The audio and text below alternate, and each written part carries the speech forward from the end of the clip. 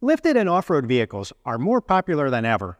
However, they also create potential problems as they add a lot of stress to the stock components, often exceeding the original equipment design limitations, which can cause premature CV axle failures.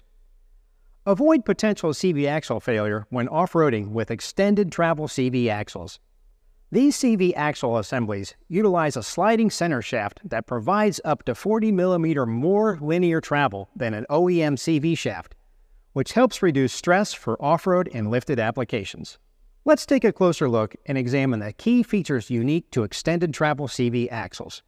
Here's a closer view of the sliding center spline shaft.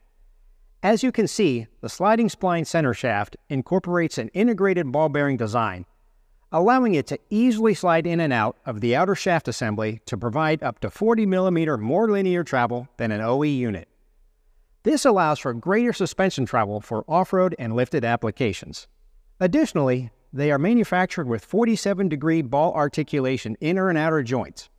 OE units are limited to a 23 degree tripod inner joint on many applications, which limits their movement on lifted and off-road applications. Where applicable, Special high strength 8 ball fixed inner and outer joints are incorporated to provide 60% more operating angle on the inboard joint, helping to eliminate premature joint failure from lift kits and increased ride height. This provides a perfect solution for off roading on uneven terrain.